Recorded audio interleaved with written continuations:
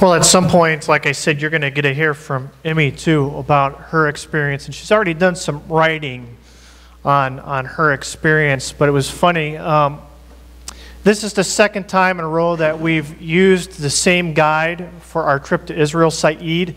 Um, he has such wonderful knowledge of just the culture and the customs, but also the archaeology that is taking place all over in the Holy Land. And Emmy had such a good time. We were joking, I was joking with Saeed, and I said, Well, you know, if my wife wants to come back in 2019, maybe we'll bring our three boys and they can stay at your house. Saeed has children that are, are close to our boy's age, and Saeed looked at me and he said, I think my wife would kill herself. He has a real dry sense of humor, but we, we just we appreciated that about him. You know, one of the things that you initially notice when you get to the Holy Land is just how dry and rocky the terrain is. And you probably noticed that in some of the previous pictures I've shown over the last couple of years, but I think it was also evident in that short video that you you had to view a moment ago. In fact, if you look around, most of everything that is built over there is, is they use quarried and dressed stone. And that's probably one of the things that hasn't changed a whole lot from the time of Jesus. You don't see a lot of wooden structures. Everything is made of stone. And really, if you think about it, that makes sense because that's something that they have a lot of.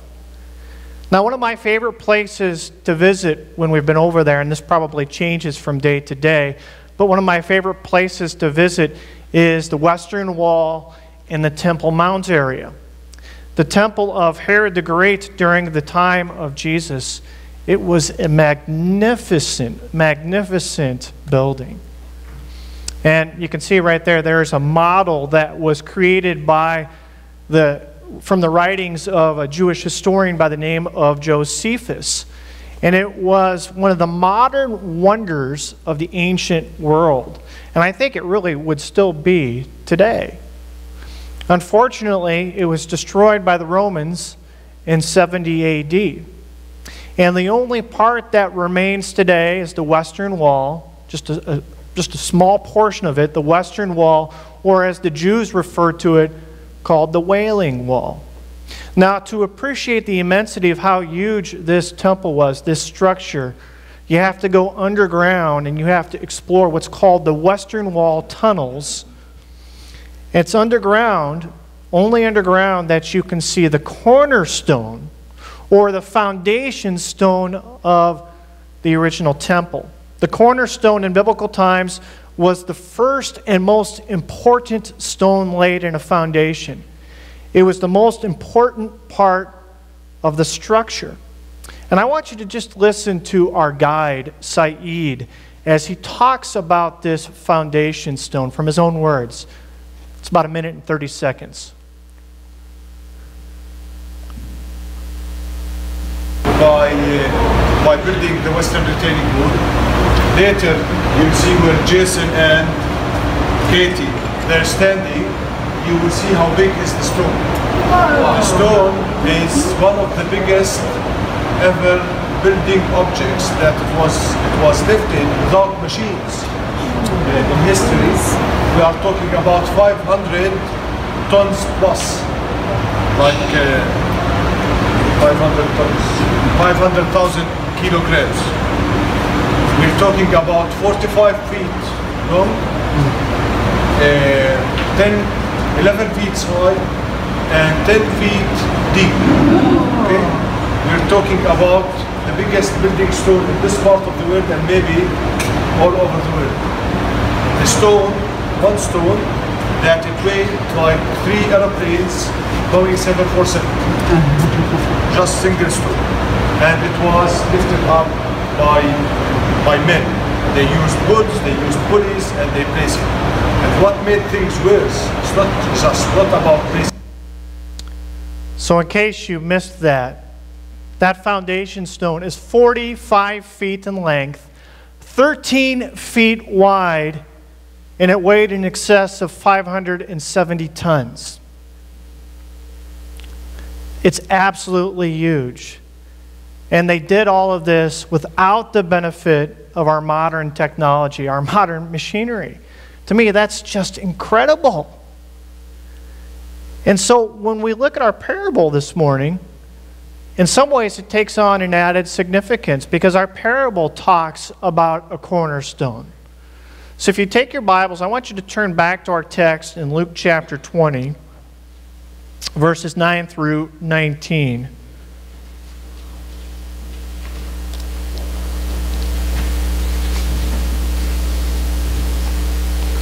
And this is Jesus' parable.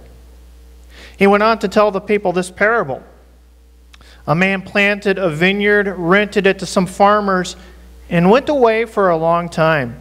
At harvest time, he sent a servant to the tenants so they would give him some of the fruit of the vineyard. But the tenants beat him and sent him away empty handed. He sent another servant, but that one he also they beat and treated shamefully and sent him away empty handed.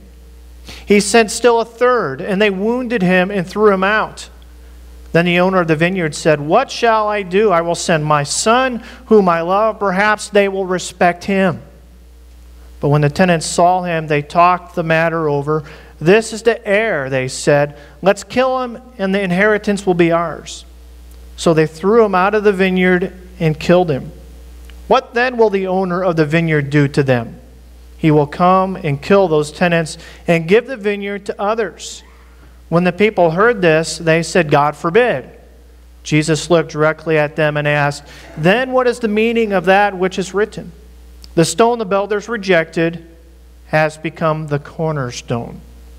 Everyone who falls on that stone will be broken to pieces. Anyone whom it falls will be crushed. The teachers of the law and the chief priests looked for a way to arrest him immediately because they knew that he had spoken this parable against them, but they were afraid of the people. You know, often the Pharisees were confused by the parables that Jesus told, but this one is pretty clear to them. The image of the prophets being killed by Israel's leaders and that God would punish Israel's leaders was insulting enough to them. But the statement that the vineyard would be given to others, that the kingdom of God would be opened to the Gentiles, was more than the Pharisees could stand. As the text says, they wanted to arrest him immediately. There's obviously a more sinister purpose in mind, and that comes to fruition a bit later on Good Friday. We know what happens on Good Friday. The last straw for the Pharisees came as Jesus mentioned this cornerstone. It's just one short statement, one short sentence compared to the rest of the gospel reading, but it's very important. It's, it's an important link with powerful imagery concerning salvation. You know, one of the greatest difficulties that we face today as Christians is that we are biblically illiterate compared to the people of Jesus' time and compared in large part to Muslims today. Children in first century Israel had to first learn, they had to, they had to memorize the first five books of the Old Testament by the time they were 10 years of age. Now just let that sink in. Memorizing the first five books of the Bible. Many Christians today can't even name the first five books of the Old Testament.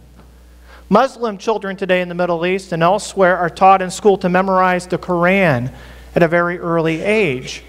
Christian children today in the United States who even mention the Bible or name Jesus in school often face suspension or other punishment, or at the very least, they're ridiculed.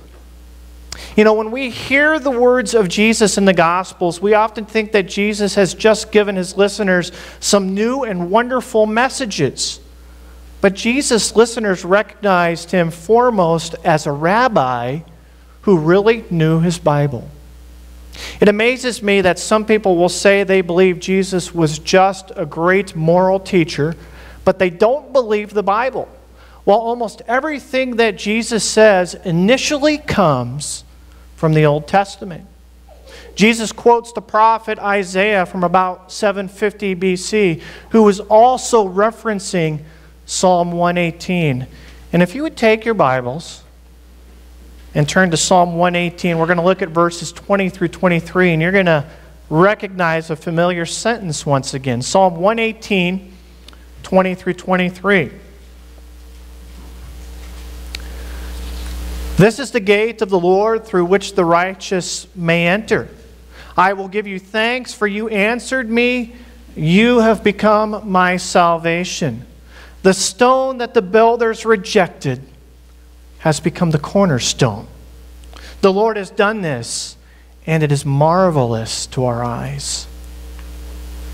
You see, the Pharisees knew exactly what Jesus meant when he used the term cornerstone in referring to himself. And you can see why the Pharisees were a little bit miffed. They knew the penalty for rejecting God's cornerstone because they also knew the scriptures. For Jesus to be declaring himself as the cornerstone that is being rejected must have had steam just shooting out of their ears.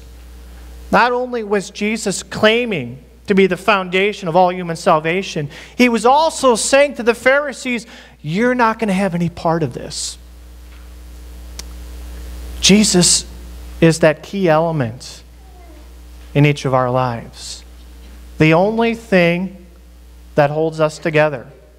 The single most important aspect of our foundation. But do we treat him or even recognize him as that?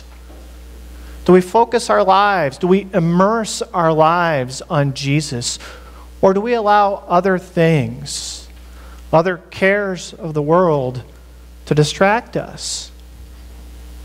You see, when we turn ourselves over to God, He changes our lives, He changes our outlook, and He transforms our character. As a result, our old selves are no longer a part of us. And our old sinful ways are not things that we should look back to fondly or hope to return to. If we are focused on becoming a disciple of Jesus, our old ways are distractions to us. Now, the Apostle Paul recognized this. And he tells us that everything that he had gained in his life outside of God's will, things that he had lost once he became a follower of Jesus Christ, he now regards as garbage. You see, Paul was a Pharisee in very high standing a shining young star who would very likely become a member of the Sanhedrin, Israel's ruling body of 71 top religious leaders. And along with the fame and the reverence that being a Pharisee brought, there was also this lifestyle of wealth and ease. But when Paul began to follow Jesus, realizing that Jesus was Israel's promised Messiah, his life changed. He no longer was considered a rising star, and he was forced to live in squalor, barely making enough money repairing tents and sails to feed himself, living in caves or exposed to the elements, enduring beatings, whippings, and even stonings from the people that he preached to. Now, that's quite a status drop, isn't it? Any way that you measure it, that is a status drop.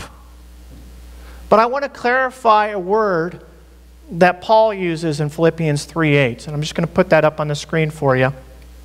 This is what he says. What is more, I consider everything a loss because of the surpassing worth of knowing Christ Jesus my Lord, for whose sake I have lost all things. I consider them garbage that I may gain Christ.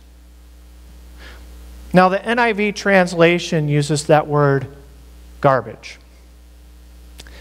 Now, if our blender stops working, at least in our house, we tend to consider it garbage and we throw it away. But to some people who are mechanically inclined, a few tweaks here and there, and they have a perfectly good working blender.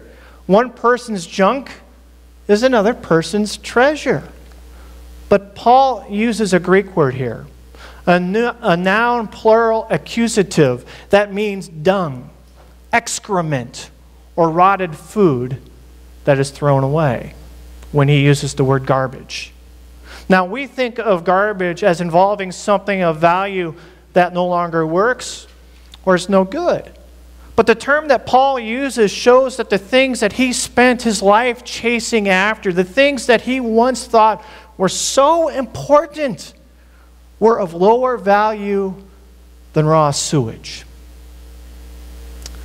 That's a graphic image that Paul intentionally chose to use, one that his readers in Philippi understood immediately but we have softened our modern translations so as not to offend delicate sensibilities. So when you read the word garbage, you should have an image of raw sewage. Paul is not rejecting his belief or heritage as an Orthodox Jew. The rest of Paul's letters and the story of his ministry in the book of Acts clearly show how much he valued being a Jew. But he understood that following Jesus made him a completed Jew, not a lesser one. His standards weren't lowered, they were raised. God took what was good in Paul's life and he made it better. And he does the same with all of us. You know, I'm reminded of the words of missionary Jim Elliot who said, He is no fool to give what he cannot keep, to gain what he cannot lose. So, in other words, we are to make Jesus the cornerstone of our lives. You know, one example in recent history of someone who undeniably made Jesus the cornerstone of her life is Mother Teresa. In his book, What Would Jesus Say? Lee Strobel describes what Jesus might say to 10 key figures of our society, one of whom is Mother Teresa. And I want to just contrast her life briefly with Paul's. Mother Teresa was an 18 year old Yugoslavian girl named Agnes when she actually left home to become a nun. And over the next 20 years, she taught middle class high school students and was often referred to, her, referred to by her colleagues as being average. Can you imagine Mother Teresa being called average? But then she felt God calling her in 1946 to serve India's poor. She started with nothing no shelter or finances.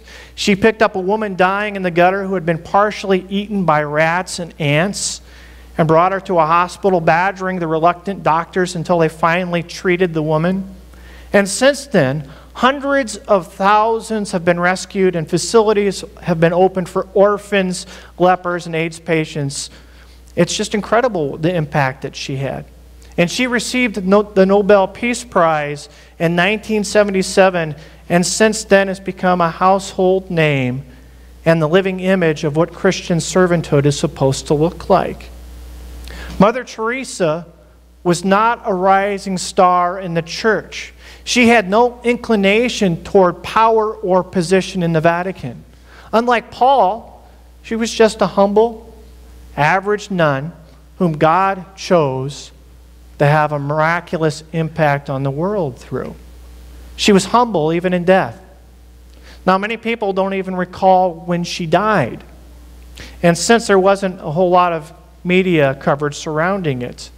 You'd think the death of someone like Mother Teresa would generate countless television specials about her life. However, God called Mother Teresa home on a very abnormal news day.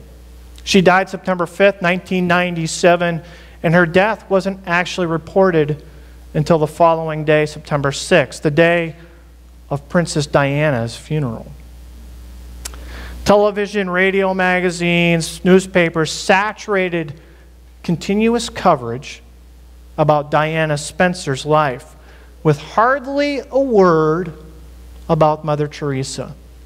Even in death, she was able to avoid the spotlight. You know, often people think to be devoted to Jesus Christ, we need to be like Mother Teresa. We need to sell all of our stuff and we need to move to India. But Jesus doesn't want more Mother Teresa's. He's already had one. But He does want each one of us to serve in the roles that He has provided for us as His followers. You know, when Mother Teresa was once asked how others should serve, whether they should fly to India to join her, this is what she said I know you think you should make a trip to Calcutta, but I strongly advise you to save your airfare and spend it on the poor in your own country. It's easy to love people far away, but it's not easy to love those who live right next to us. There are thousands of people dying for a piece of bread, but there are thousands more dying for a bit of love or a bit of acknowledgement. The truth is, the worst disease today is not leprosy or tuberculosis, it's being unwanted, it's being left out, it's being forgotten. The greatest scourge is to be so suffocated with things that we forget the next person. We're not all called to be missionaries overseas, but we are called to be missionaries wherever we are. You know, lots of people do good things for the poor, and Christians don't have a monopoly on that area. But there was something so special about Mother Teresa that made her more than just a social worker who prays. Lee Strobel points out that there are some characteristics that should distinguish Christ's servants from others. Sort of a checklist that we can use as followers of Jesus to see if those qualities are true for us also. And the first is this be a distributor, not a manufacturer. Be a distributor, not a manufacturer. You know, some people manufacture compassion for the needy from their own needs or motivation. Maybe they feel guilty about being wealthy, or they just feel pity for the poor, or they feel they need to give something back to society or they have this psychological need to put others before themselves in order to feel better about themselves. But whatever the source is, eventually that runs out. We need to be distributors, connecting with Jesus in prayer each morning, filling our lives with His Word, His love, and guidance from the Bible, and then spending the rest of our day as conduits which God's love can be poured out to other people. Secondly, we need to serve God, not ourselves. You know, sometimes we let volunteering become self promotion, and sometimes it's hard to distinguish between the two. You know, one writer described it this way about volunteering there's so much to gain personally from volunteering. You feel good, you see and you learn things that you would not otherwise have. You test your abilities. You often find yourselves rubbing shoulders with pillars in your community who help you in your business or career. Volunteering, he says, can be another pathway to upward mobility. But that's garbage. That's pure ego. That's not servanthood. That's following me not following Jesus. Serving others should bring us closer to God. Third, respect the people that you serve. Don't pity them. Respect the people that you serve. Don't pity them. You know, if we pity people that we serve, that attitude, it seeps through to our actions, and the person in need feels devalued. Each person is created in God's image, and each person has value to God. They're not case numbers or patients to God. They are worthy of all of our respect and dignity because we expect that ourselves. The fourth characteristic is a willingness to sacrifice, not just a willingness to serve, a willingness that we should sacrifice things and not just serve. And there's a difference. You know, when service to others begins to interfere with our life events, what do we do? We tend to reduce our service. But Jesus sets a much higher standard for us as his disciples because service to others is inconvenient. True servanthood requires sacrifice. Jesus commanded us to love each other as he has loved us. The fifth characteristic is a willingness to follow God's agenda instead of our own. You know, it's an amazing source of comfort and strength when we are doing, when we are sure we are doing what God has called us to do. It's, it's amazing. It's so affirming. It's incredible when you know you are doing what God has asked you to do. The sixth characteristic is that we each have spiritual gifts, not just abilities. And we tap into those the moment that we give our lives to Jesus Christ when we make him our cornerstone. Each of us are hardwired by God with different spiritual gifts. And I would encourage you, if you haven't done so already, take a spiritual gifts assessment. You know, some have spiritual gifts of mercy or compassion or teaching or pastoring or evangelism or any of about two dozen other spiritual gifts. Often people have multiple spiritual gifts that overlap and reinforce their natural God given strengths in those areas. God gives gifts not for us, but He gives us gifts so that we can share them with other people. Next, we need to rely on God, not organizations. We need to rely on our Lord and not organizations. You know, there's a story about Mother Teresa telling her superiors that she had five pennies and a dream of God to build an orphanage. To which her superiors responded that there was no way she could build an orphanage or do anything for that matter for five pennies. And she replied, I know, but with God and five pennies, I could do anything.